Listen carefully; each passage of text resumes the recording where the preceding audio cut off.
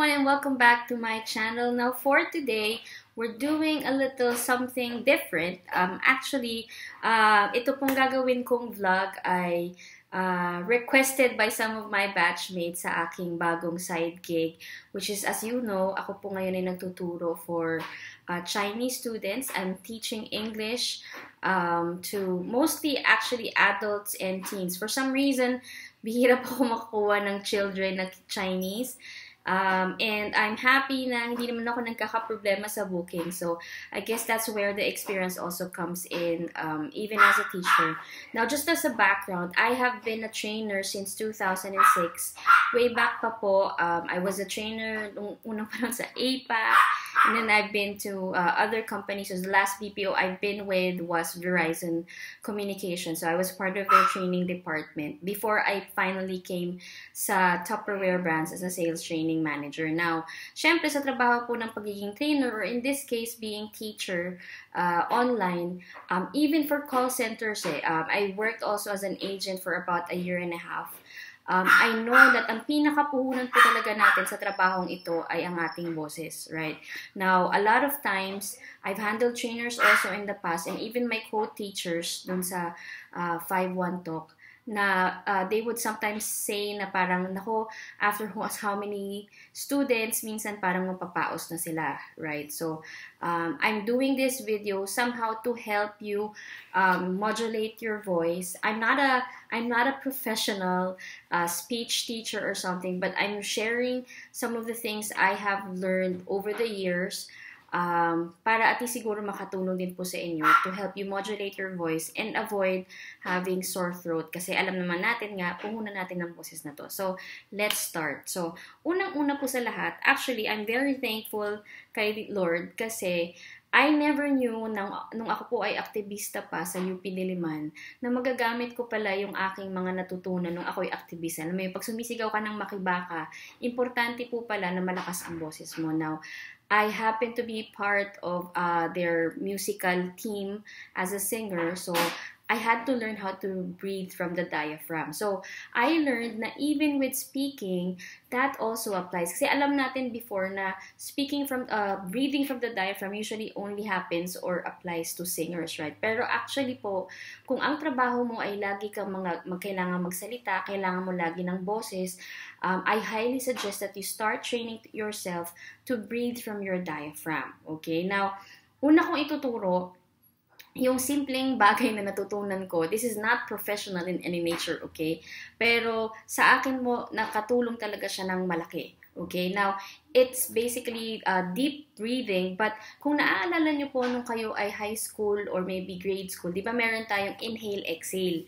So, yung inhale, exhale na ginagawa natin, di ba sa ilong yon ba? We count 8, 8 counts in, 8 counts out, right? Now, this time, I'd like you to uh, try doing this. This is deep breathing, breathing, sorry, deep breathing and using your diaphragm. Now, this time, you'd have to breathe from here, And then you will feel na yung air na pinasok mo, dito po siya papasok. I'm sorry, you can't see my diaphragm, but dito sa may bandang tummy, sa ilalim ng uh, chest, dito banda sa may ano natin, no, sa ibabaw ng, ng tummy natin. And you can put your, like this, okay, like, like you can put your um, uh, hand over it, okay?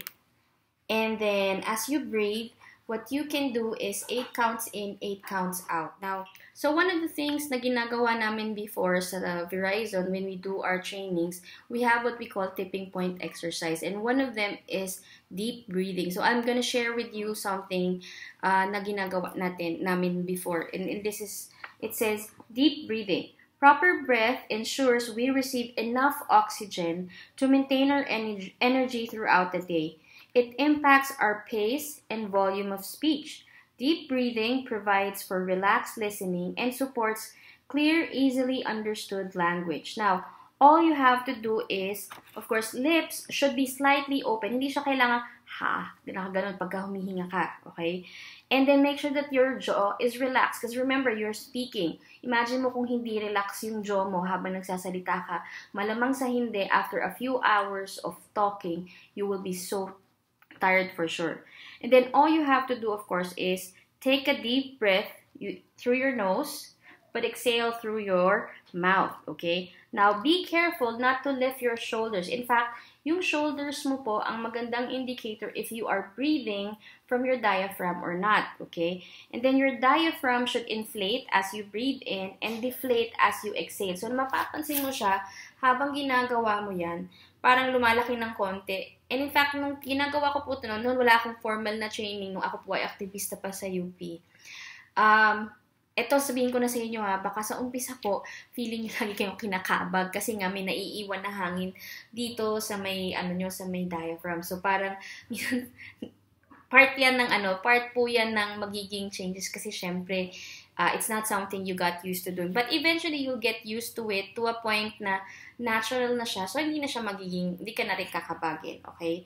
And then, you place your hand, like what I said, dun sa iyong diaphragm, like this one, okay? And then as you breathe, you will feel the, mo- the movement. Now, um, what you can do, katulad ng ginagawa natin ng high school, inside out lang, inhale, exhale, but again, you involve your mouth this time, not just dito. Okay? Remember, as you speak, kailangan mo pa rin huminga. So, now, as we do this exercise, syempre hindi ko po mahigagawang huminga or mahirapan ako kung if I will have to breathe uh, while I talk while I breathe, right? So what I'll do is I'll just have a counter on the screen uh, signifying that 1 to 1 to 8 will be inhale, 8 to 1 is exhale, okay? So let's do this. 1 2 3 go.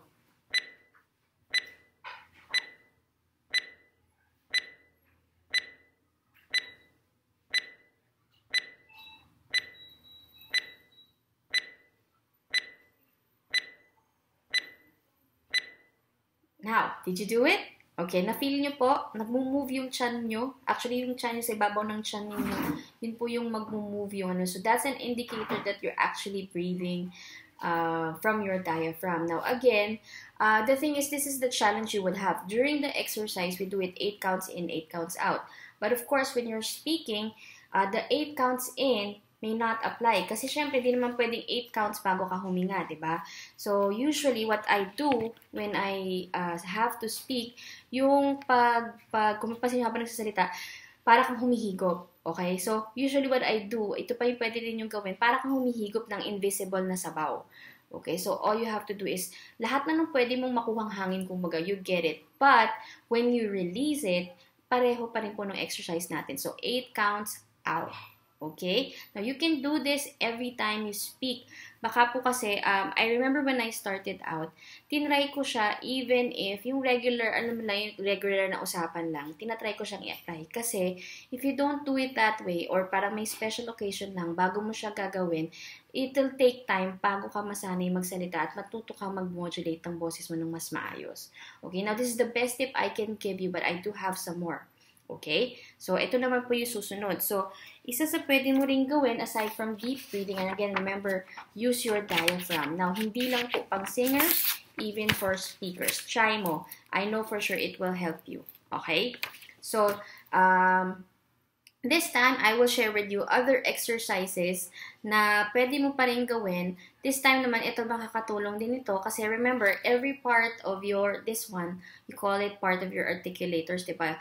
Every time you produce a sound, um, lahat ng naandito ay involved. Your lips, your teeth, your tongue, everything, even your jaw, everything. Konting placement lang yan na mali, ibang sound na ang lalabas. Hindi mo gamitin ng tongue mo, iba ng vowel sound usually ang lalabas. So, importante that you actually master using everything that's here. So, you produce also the right sound. And, in fact, mas magiging clear din yung sasabihin mo if you uh, use it properly. Okay? So, let's try this. Okay? So, babasahin ko muna po sa inyo yung instructions nung ilang exercise na isi-share ko sa inyo. Una, would be what we call, and I know it's gonna be a little bit funny, tongue exercises, okay? Now, the tongue exercises addresses the tongue's importance to articulation.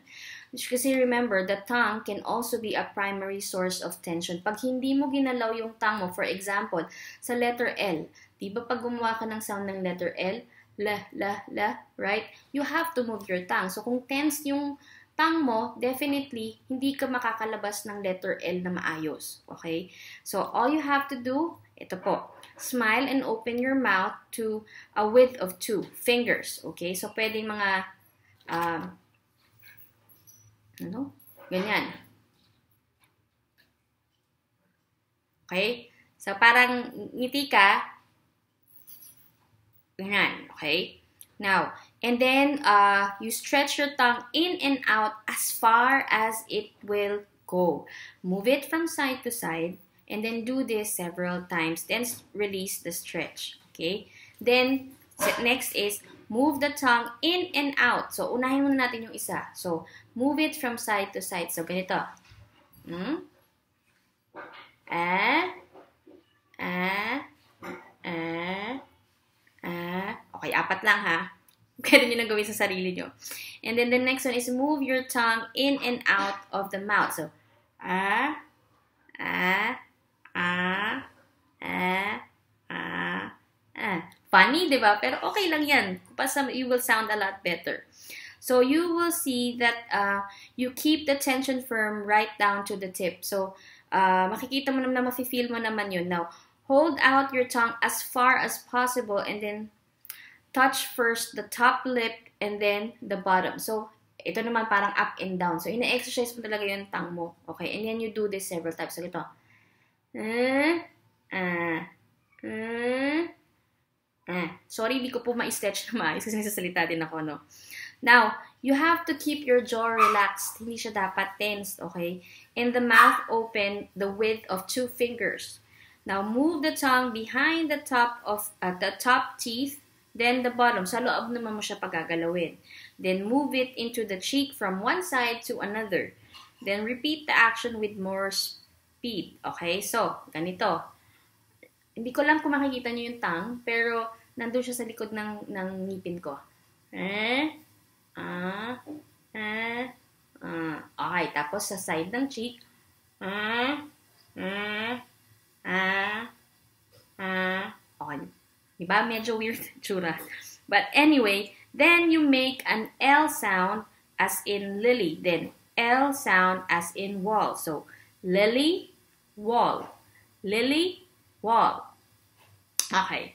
Then, you move between two sounds quickly to give the tongue more spring. This action activates the back of the tongue as well as the tip. So, pag nagagalaw mo siya ng mas ma, kumbaga parang mas relax na siya eh. Mari-relax yung tongue mo. Now, remember, the tongue is important to produce the right sound. Otherwise, minsan yan yung common pag ano, napapansin ko kapag nagiging instead of a letter L, letter, letter R yung lumalabas. Usually, uh, hindi nagagamit ng maayos yung tongue. Okay? So, yon. Okay. Now, next, meron pa akong ibang exercises na pwedeng i-share sa inyo. Uh, ito naman, medyo weird yung pangalan niya. Inga. Okay? Inga. Now, this exercise allow you to hear the sounds created in both the head and the chest, okay? It helps reduce nasality qualities and uh, create greater vocal confidence. Now, all you have to do is press your fingers to the side of the nostril, so dito, and say ing. Okay? Tapos, you release the fingers and you say ga. Para siyang, actually, para siyang pa- superpowers. Okay? So, ing, ga. Ing, ga. Okay, ganun lang siya. Okay? So, bakit mo siya ginagawa? Kasi di ba minsan medyo nasal yung nagiging boses natin. So, you do it several times. Um, ano siya, parang exercise, you do it every day. Or maybe pagka free ka, para lang, ano siya eh, parang exercise nga. Usual exercise siya. Okay? Next would be, ito naman yung ta, da, na, La exercise. Now, this exercise strengthens the ability to create vocal balance. It improves word endings and sharpen words for interest and clarity. So, usually, ito naman yung sa mga consonant sounds. Lalo na yung mga ending sounds. Di ba, minsan hindi natin narinig masyado yung mga T, D, N, or L sa dulo. So, it's important na clear yan kasi otherwise, baka ibang word ang maririnig sa inyo ng ibang tao. For example, so how do you do it? You just drop the jaw and focus the lips a little forward. Okay? And you just slowly say ta, da, na, la several times. So, ta, da, na, la, ta, da, na, la. So, ulit-ulitin mo lang siya para masanay kang sabihin niya. Now, remember, kailangan po lahat nung, lalo na yung vowel sound, ay no, yung consonant sounds, kailangan maging malinaw siya. Kasi usually, it's the ending sound minsan na hindi malinaw sa ginagawa. Like, for example, if you say, uh, movement. So, minsan pwedeng yung T doon, movement. ba diba? So, pag hindi masyadong malinaw yung, yung consonant sound at the end, you will end up not being so clear with your uh, speech. Okay? Now, another um, exercise, we call this, ito naman maganda, ito yung mi, my, ma, mo, mo. Mi, my, ma, mo. Okay? And this one, this sound is created as the soft palate lowers and allows air to escape through the nose. So the M takes on the quality in qualities in the vowel as the sound bounces off the wall of the head, like me, okay, may, ma, mo, and then the stomach, mu. Okay, so pag gagawin mo lang, you just, uh, the jaw should uh, remain unclenched and released. And then the teeth are uh, parted so that kasi dun lalabas yung ano, yung hangin. And then you just chant. Me, me, me, me. So parang ulit-ulit parang kumakata. Me, me, me, me. Me, me, me, me. Ma, ma, ma, ma. Mo, mo, mo, mo. Mu, mu, mu, mu. So, ulit-ulitin mo lang siya. Uh, importante na ano, um, ayun, clarity din to na magagawa sa inyo eh, pag nagsalita kayo, lalo na sa mga vowel sounds ninyo. Um, if you have problems with your vowel sounds, this would really, really help. Uh, para na-exercise yung inyong jaw into saying the right um, vowel sound. Okay? Now, next time, next one. Ito, lalo na kung ikaw po ay uh, matagal na magsasalita. For example, ilang oras kang kailangan isalang, ba, kung call center agent ka, uh, and you have an 8-hour shift. Alam ko may breaks naman siya, pero minsan say you don't have enough time to really have a break, ba? So, importante na kung bago ka sumabak sa gera, you are prepared. Now, we call this the bubble gum chew. Bubble gum chew. Now, this exercise uses all of the vocal exercises and is an excellent one to use when there is little time to prepare. When a difficult word or phrase is preceded with this exercise, the word easily or immediately becomes easier to pronounce. Now, maganda tong gawin. For example, yung mga, di ba minsan, um, yung mga um, floors naman natin if you're in a, a call center agent, usually may elevator ka pa. So maybe while you're in the elevator, you can actually do this na. Or uh, on your way, halimbawa nasa biyahe ka, pwede mo ganun. Pa- by the term itself, bubble gum chew, para kang ngumunguya ng bubble gum.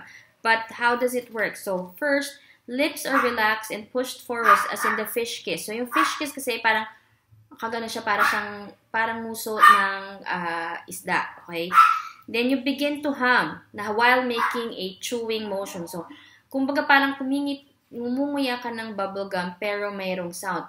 Hmm, ganon, okay? And then you slowly say each sound of the alphabet. You keep uh, keep the lips uh, pushed or focused forward. And then, uh, pwede mo din gawin to for each word in a phrase. Kung ba meron ka namang, gusto mo ng mga phrases naman yung gagawin mo. So, parang, kunyari, usually pwede mo itong gawin from A to Z. So, hmm, A, Hmm, B. Hmm, C. So, ulit-ulitin mo siya until the letter C, Z. Okay? Now, this is a good, kaya nga minsan yung iba sinasabi nila magandang exercise din yung iba, they resort to chewing, ano talaga, yung real talaga na nag-chew ng gum. Kasi nagagalaw mo to eh. Okay? So, na-exercise din yan. Akala mo lang walang nangyayari, pero actually meron yang, meron yang help. Okay? Now, next, Um, this one naman is the TH breathing. TH breathing. Now, this addresses the tongue's importance to articulation. So, kat kamag-anak actually ito ng tongue exercises natin. And um, it addresses, again, sabi ko nga, the tongue's importance to articulation. So, all you have to do is relax the tongue and with the jaw open, slowly make a th sound. So, do this several times. Actually, madali lang talaga itong gawin. Parang th, th. Kasi kailangan mo po, remember, to produce the TH sound, you need to move your uh, tongue. It actually, you parang irarab mo siya ng konti dun sa ngipin mo, di ba? Th. You see, the tongue is sticking out a little bit. So, th. Th. Okay, so if you have a TH problem, this is actually a good exercise for you to try out. Okay? Ayan, so yun. Meron pa ako ibang exercises pala na ibibigay sa inyo. And this is, uh, isa pa is what we call the motorboat. Okay, the motorboat, uh, sabi dito, creating the motorboat releases tension held in the mouth. Um, it helps support speaking clear consonants. So all you have to do is blow through the lips while adding sound. This is the same sound and, and action as when a mother blows on a baby's tummy to make them giggle. If this exercise is difficult, it is because there is tension in the lip area. Now, you may need to give the lower lip a kickstart eh, with your finger to begin the exercise. Actually, yung motorboat, imagine mo na lang, para kang nagmumotor gamit, yung motor, so, sound ng motor, uh, as in, as in motorsiklo, ganyan, using your lips. So, mm, di ba pagka yung, yung nakikipaglaro ka sa mga bata, Now, that buzzing sound actually helps you uh, yung sa lips mo. Sometimes this is also done by some singers uh, para ano yung tension mawala sa dito sa ano nila sa may lips. So, that will also help you. So, you call that motor motorboat. Okay, so and you will see, ma-feel mo nagbe-buzz yung ano mo, yung lips mo. Okay? Next, you also have what we call the T, S, and Z exercise. Now, this exercise eliminates whistling sounds and strengthens clarity and confidence. Now, all you have to do is relax the jaw. La, kung mapansin nyo lahat to, relax the jaw lagi, di ba? Kasi nga, you can't speak naman na parang tense na tense yung jaw mo. It has to always be relaxed. So, relax the jaw and mouth. Then slow, uh, slowly say these, okay? One, first is T, T, T, T, To. And then yung S naman, C, say, So. And then Z, Zay, Zo. So parang binago mo lang yung first uh, consonant sound which is T, S, and Z. So kung nagkakaroon ka ng problema with these sounds, this would really help a lot if you try practicing this exercise. So you say, and you say it several times. So T, T, Ta. C, say, So. Z, Zay, Zo. And then you do it again. T, T, Ta. C, say, So. Z, Zay, Zo. So, ulit-ulit mo lang siya. Lalo na kung may problema ka sa S and Z. And even the T sound. Okay? This is a good exercise for you to try out.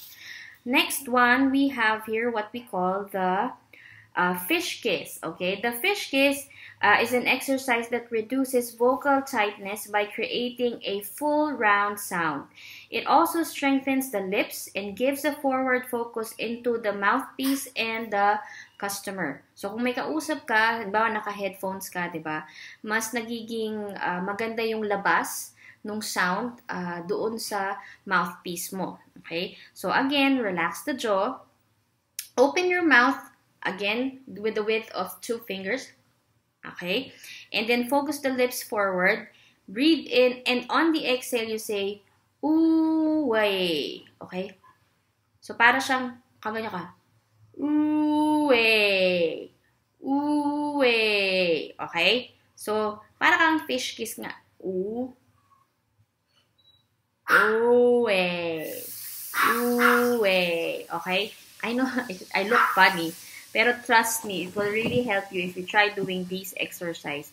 Now, you don't have to do all of these things ng sabay-sabay, like sunod-sunod, no? Pero, depende kung gaano ka siguro ka seryoso na makatulong sa'yo na you speak clear and you're able to also um, uh, preserve your voice.